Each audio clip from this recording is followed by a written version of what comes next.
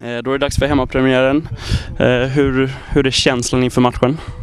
Ja, men det är fantastiskt. Vi har eh, efter vad vi tycker gjorde en, en ganska bra match uppe i Borås så, så har vi under veckan då försökt att bibehålla och förbättra oss lite grann i, i det som vi kanske inte gjorde riktigt bra där. Så att det känns bra, vi har harmoni och spelarna är glada. Eh, sp- Det verkar som att ni har en helt intakt eh, trupp, samma trupp som, som eh, förra helgen. Det är väl första gången som det händer sen eh, du kom, eller, eller stämmer det?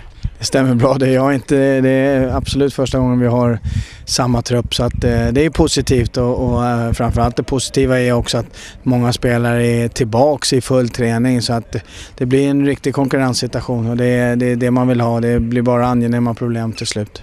Ehm, det har varit ganska mycket folk på träningarna, det var mycket folk eh, på, inför eh, matchen mot Elfsborg.